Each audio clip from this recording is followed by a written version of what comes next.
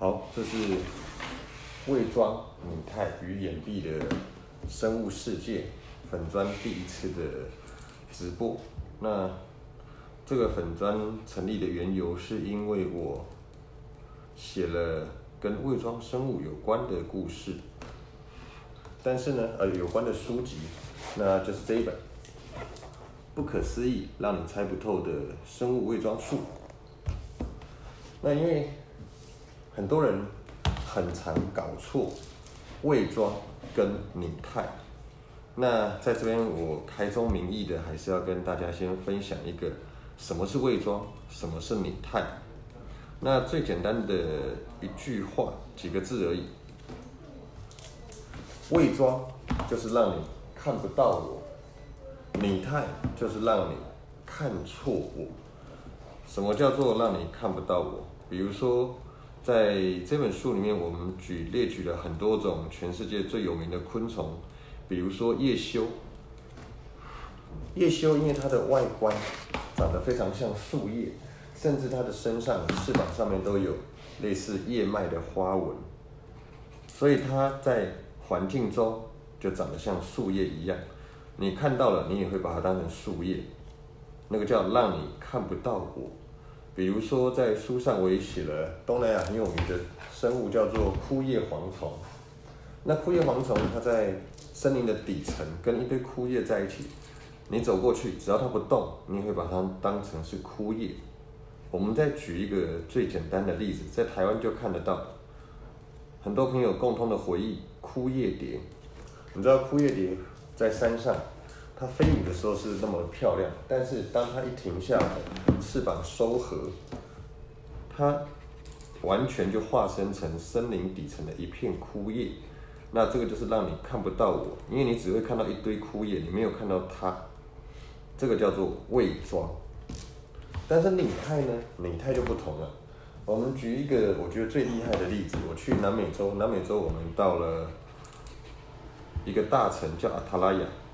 阿塔拉雅那个森林里面，我们在晚上用灯光诱集昆虫，发现了很特别的生物，一只很像珠蜂还是胡蜂的蜂类在地上爬行，但是我们仔细靠近看，不对，它竟然是一只宗师，它身上的花纹跟一只珠蜂黑色那种大型珠蜂很像。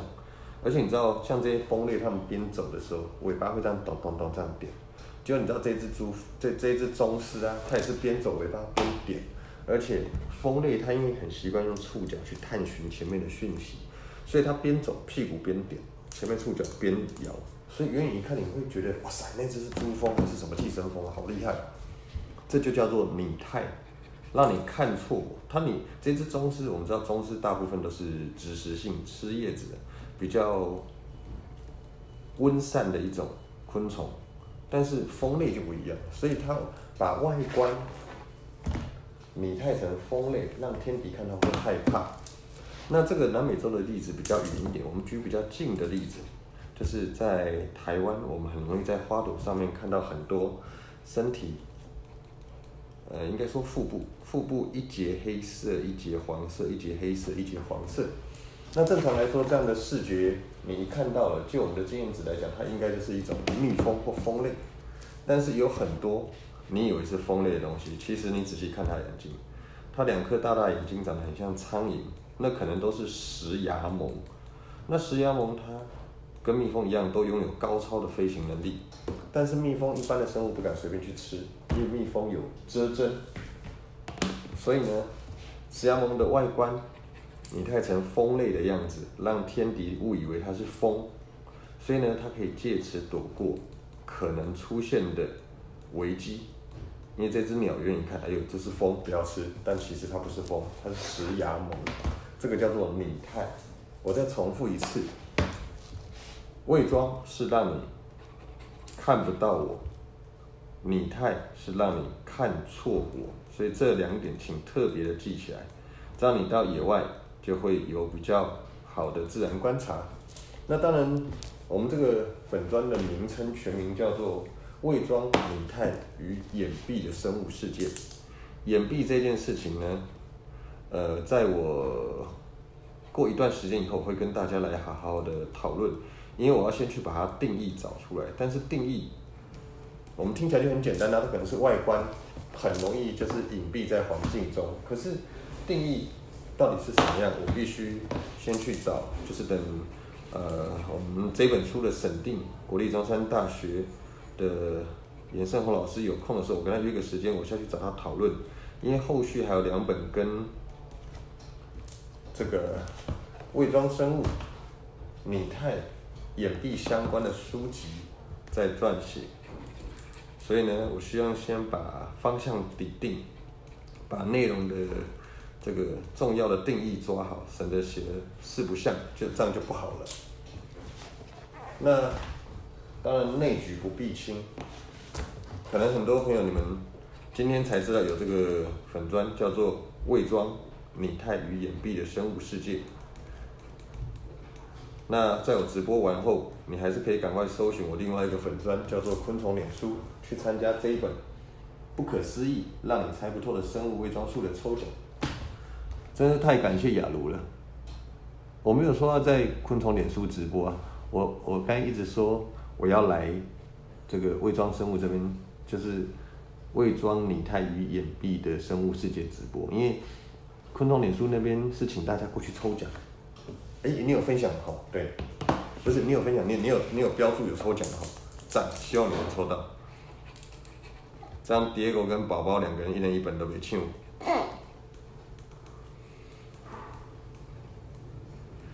那这本书又在考记忆的时候，因为我现在开始加足马力的签下去，所以我要很快的讲一段，怎么去找这个伪装生物在自然的环境中。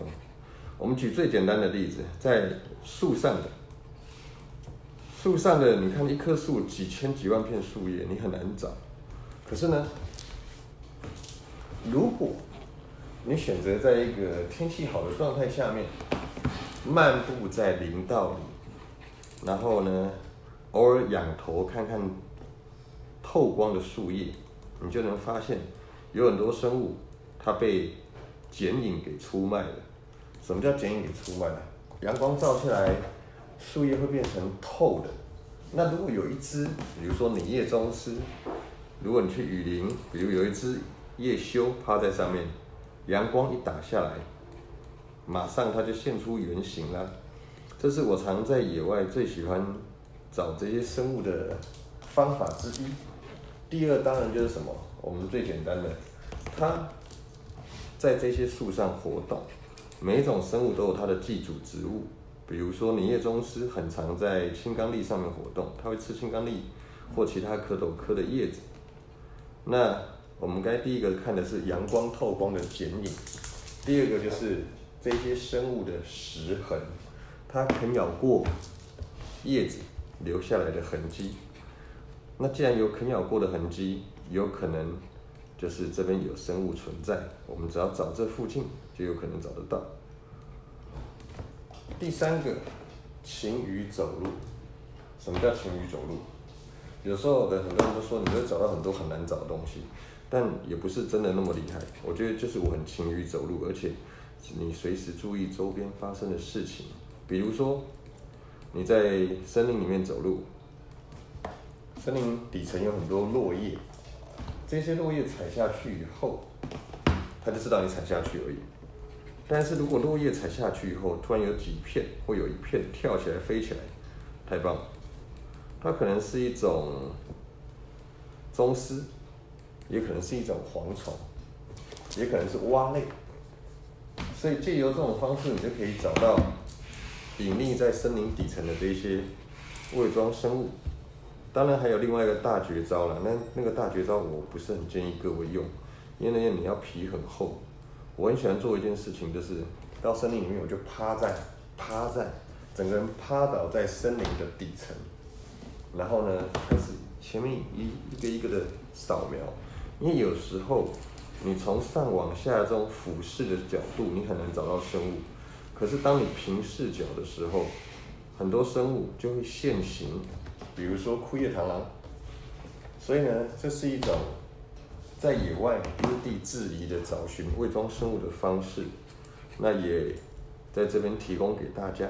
如果你对于这些伪装生物有兴趣，最重要就是接触这些环境，然后在环境中慢慢的去领略自然的美，去熟悉每一种生物的样貌。最简单的方法就是多看书籍，多看书，因为你常看，你就会记起来它的样貌。在野外，你只要看到了，你很快就能从你的记忆库把它拉出来，并且把这只有趣的生物分析出来，原来是它，原来是谁，你知道吗？这真的是一件很厉害的事情。我个人很喜欢做这件事。那当然，这本书很多人问说要去哪边买。如果你今天才刚加入我们的这个社团，这本书呢，已经在博客来开卖。博客买，博客来它现在有这本新书的活动，作者亲签本，就是亲笔签名本，再加上有作者准备的小赠品，就是让你可以。边玩边了解伪装生物在环境中的关系，我有做一个赠品，所费不赀的赠品。然后还有最棒的就是博客来有七九折，一本两百八的书打完折只要两百三，还有找。你知道这本书我有累积了多少的经验跟知识跟照片在里面？两百多块就成交，真的是便宜到我都不知道该说什么，太便宜了。可是不是因为便宜要你买这本书，而是这本书可以帮你，帮你跟您的孩子打开不一样的自然观察视角，让你们对自然的生物有更多的了解，让你们对环境有更多的了解。当然，最后希望各位对环境了解以后，能唤起你的保育意识，对台湾、对世界、对环境更有使命感，因为我们都住在这个地球上面。我们都需要一个好的环境，我们需要好的环境，这些生物当然也需要啊。然后还有最重要是昆虫店通路，台北你可以到晴天宫站的木生昆虫馆，市府站的丛林野兽昆虫馆，士林捷运站的虫模坊昆虫馆，虫模坊。然后灵光捷运站的台湾昆虫馆，然后华山的生态工法基金会，新北市你可以到板桥的魔晶园，新庄跟三重的喜从天降，新庄的彩虫屋，然后呢？桃园八德的雕虫小雕虫小技甲虫生态教育馆，桃园中立的阿峰甲虫垫，还有。新竹菜虫叔叔昆虫生活方，台中爱生堂。然后，彰化绿光丛林昆虫生态馆，彰化园林的绿光丛林对，南投中山公园前甲虫馆，台南兜敲丛林，高雄玩虫虫，就是之前的昆虫乐园。虫之声，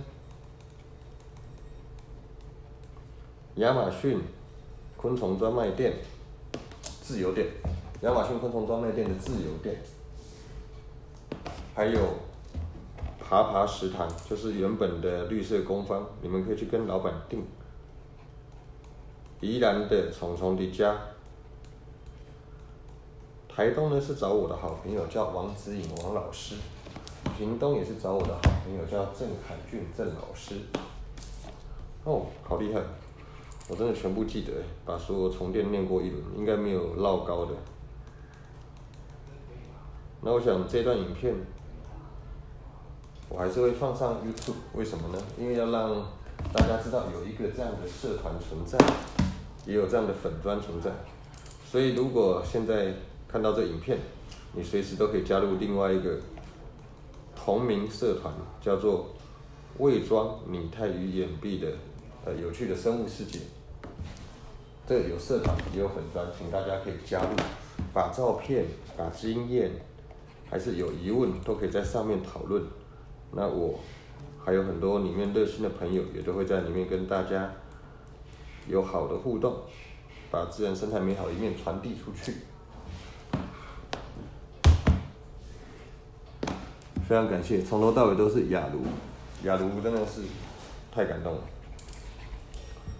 纵然你把手机放在那边挂着，我都觉得感动到爆炸。其实你现在应该在洗菜煮饭吧？对不起，我不应该信任，不信任你，然后还吐口水，真恶心。谢谢，真的非常感谢。好，那这段直播很轻松快速的结束，也感谢各位支持热血阿杰的一切的一切，因为我成立了好多粉砖，弄了很多社团，也写了很多的书。很开心的一直做着自己喜欢做的事情，希望大家持续的支持，让我有能力、有预算去做更多探访自然、了解自然、保护自然事情。谢谢大家，谢谢。啊，真的吗？我我我两斤，刚才在听音乐，我在念经，太惨了。好了，亚茹，谢谢，我要专心签书了，非常感谢。赶快把书签完，我就要去干活了。